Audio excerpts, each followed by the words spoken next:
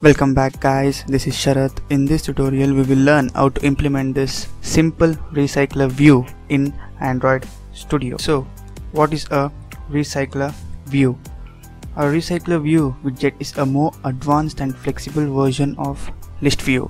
So we have already implemented a list view you can check out in the previous tutorials so it is a more advanced and flexible version of that list view so we will divide this tutorial into two videos. In the first video I will create the model class and design the layout manager. And in the next tutorial we will create an adapter class and finally we will run it. So we will create the new project. Go to new new project and name it as recycler view tutorial. And click on next next next and finish so before getting started we need to add this two dependencies and another one which is the design dependencies into our android studio. So i will show you how to do it. Now go to file click on the project structure go to app and now go to dependencies. Now add the library dependency. So first one is this design the next one is this recycler view. You, you can find it here. And finally we should add. Then click on ok.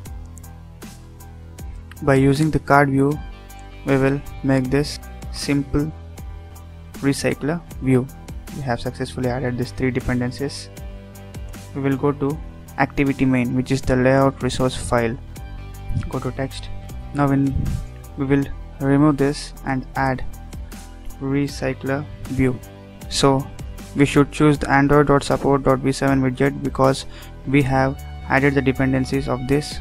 So uh, layout width will be match parent and height will be wrap content. It's similar to the list view but it is more advanced and flexible. Now we will add the layout design. So which we saw here. We will design this layout layout manager now.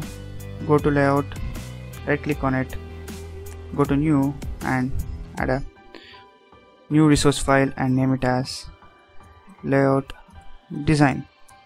Here we will design this card view first. We will remove this constraint layout and change it to linear layout and set orientation to vertical. Now we will add the card view and width will be match parent and height will be wrap content so now we will add one image view width will be 50 dp and height will be 50 dp you can change it later. And source will be I will choose at me map IC launcher round now. And uh, before inserting image view you should insert a relative layout match parent wrap content okay. Now we will add the text view wrap content wrap content and this is for app name. We'll give an id for image view app logo. We'll give an id for this app name and we will place it to the end of image view. So that is app logo.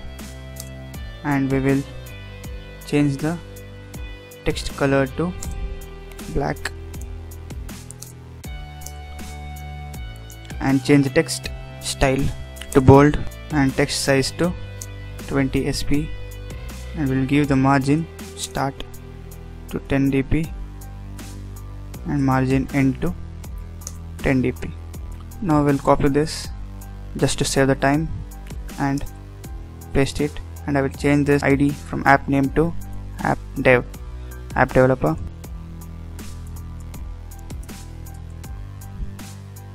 I will remove this text style and text size and I will place place it below. App name. Okay now we will give the padding to 4 dp padding 4 dp padding 5 dp have created this layout manager. Now we'll create the model class in this video and in the next video we will create the adapter class. So we'll create a model class and name it as list items. So which contains this all this list items you can see here. So one is this image view the other two are the text views. So go to list items. For text views we should use string so string app name and another one public string app developer. For image views we should use a data type int public int app logo. We will insert the getters for this for these items. So press alt plus insert and select getter and we want getters for all this. So select all and click on ok. Now we will create the data class which holds all this uh, image names app names and developer names. We will create the data class and I will end this tutorial. And in the next tutorial we will do the adapter class. So we'll create the another class and name it as data because it contains all the data that we want in our list so we'll create a static array list public static array list. We will pass a generic class which we already created that is list items. So this list items is nothing but is this java class and we will call this method as give data. So it contains all the data and it should give the data when we use it. So we'll create an array list and pass this list items again. And we will name it as list items. We will assign new array list. String app name array. We'll pass the names of an application. Now we will add developer names string app developers. Now we need images. So to add images I have already selected this selected this. So copy all this and put it into drawable folder.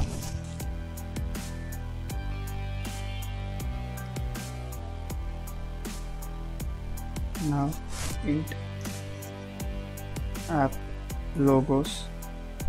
So we have added all the data that we want in our recycler view. Now we will use the for loop. So it should be exactly the length of this data. So you can choose any one from here. I will choose the app name i is lesser than app name dot length and it should increment. Now we will create a method of the java class we already created which is list items. List items one dot app name equals app names of i.